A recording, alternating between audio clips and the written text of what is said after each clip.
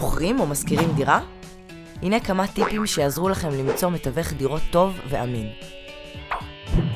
ראשית, היכנסו לאתר justice.gov.il ובדקו שיש למתווך רישיון תיווך תקף מטעם משרד המשפטים. בררו מראש פרטים על התוכנית השיווקית. היכן מודעת הנכס תפורסם? באילו כלי מדיה, עיתונים ואתרים חיצוניים? האם יתקיים בית פתוח? יעשה שימוש בגלויות ופרסום בניוזלטר? ויערכו שיתופי פעולה עם מתווכים נוספים? המתווך צריך להכיר את הנכס ואזור העבודה שלו עד לפרטים הקטנים ביותר. שכנים, שכונה, תחבורה, חינוך, בריאות ותשתית נדל"נית.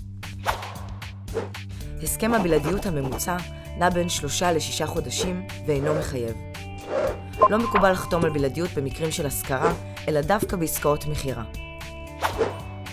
זכרו שגם אם מצאתם לבד קונה, הסכם הבלעדיות מזכה את המתווך שלכם בתשלום העמלה המלא.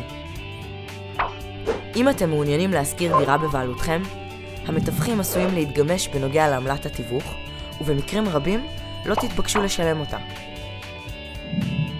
אנחנו ממליצים לכם לערוך חיפוש באתר B144 כדי למצוא מתווכים אמינים ולהתעדכן בהמלצות הגולשים. שיהיה בהצלחה!